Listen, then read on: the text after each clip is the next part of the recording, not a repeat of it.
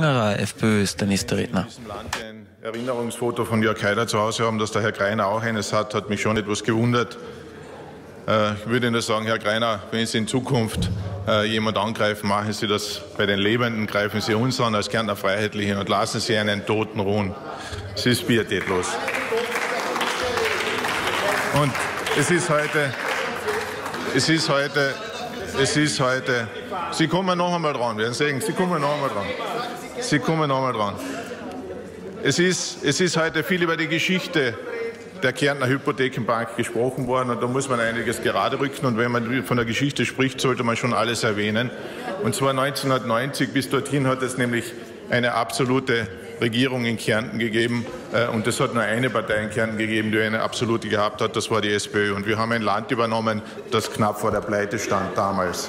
Und die Hypo stand auch vor der Pleite. So wie die, so wie die, so wie die, so wie die Magdalene-Pleite, so wie die BBU, die sie, die sie, die sie, in Pleite, die sie in die Pleite geführt haben. Das war es. Und damals ist das Landeshypothekengesetz gegründet worden, beschlossen worden im Kärntner Land. Das ist richtig, 1990 einstimmig im Landtag beschlossen worden.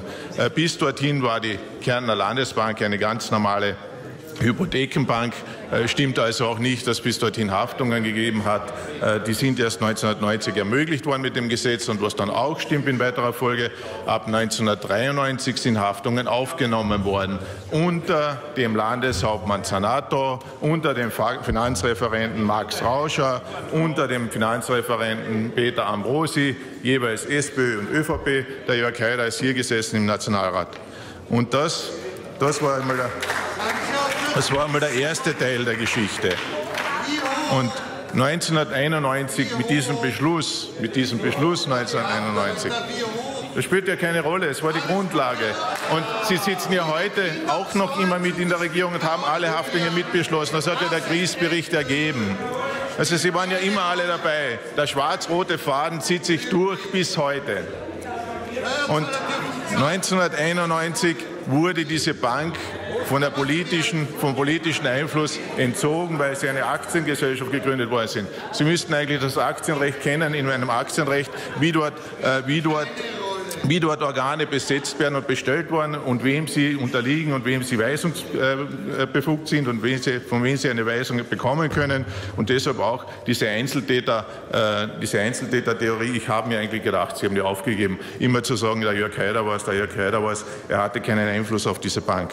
Und, und, und Sie, und Sie, und dann im Jahr 2004 und dann im Jahr 2004 haben Sie alle diese, Haftungs, diese Haftungserweiterungen mitbeschlossen. Das ist auch im Kriegsbericht nachzulesen.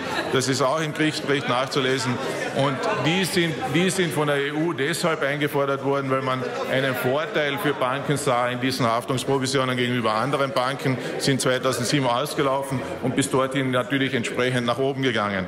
Ja, und warum sind die nach oben gegangen? Was haben dann die Bayern getan? Was haben dann die Bayern getan? Sie haben ein inkontrolliertes Wachstum in dieser Bank vollzogen zwischen 2000 2007 und 2009 von eine Bilanzsumme von 24 Milliarden auf 41 Milliarden erhöht, Kredite von 10 Milliarden auf 18 Milliarden erhöht und Leasing von 2 Milliarden auf, 7, auf 13 Milliarden erhöht.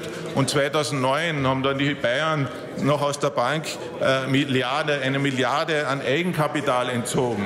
Wenn das heute ein Privater machen würde, dass er bevor eine, eine Unternehmen in Konkurs schickt, dann würde man von fahrlässiger Glieder sprechen, meine Damen und Herren. Und dann haben Sie diese Bank verstaatlicht. Und gestern hat der Herr Obernuster dann gemeint, ja, und die Kärntner haben dem auch noch zugestimmt und haben das befürwortet. Die Kärntner waren zu diesem Zeitpunkt nicht mal mehr eingebunden in die ganzen Verhandlungen. Das hat hier der Bund alleine mit den Bayern gemacht, über das Finanzministerium. Und dann ist es den Kärntnern mitgeteilt worden, dass sie diesen Beschluss zu fassen haben. Die haben damals noch 12 Prozent gehabt, das war die Wahrheit. Und das alles können Sie aus dem Kriesbericht herauslesen. Dass Ihnen das nicht gefällt, die Wahrheit, ist natürlich klar, dass Sie darüber schimpfen. Aber wir werden Gelegenheit haben, im Untersuchungsausschuss das alles aufzuarbeiten und ans Tag zu bringen. Und ich hoffe, den Schaden, den Sie angerichtet haben seit 2009, weil seitdem sind Sie wieder als politische Parteien für diese Bank verantwortlich. Davor war es die Management geführt, so gering wie möglich für den Steuerzahler zu halten. Danke. Argumentiert Erwin Angerer von der FPÖ und verweist für weitere Debatten rund um die Hypo auf den kommenden Hypo-Untersuchungsausschuss.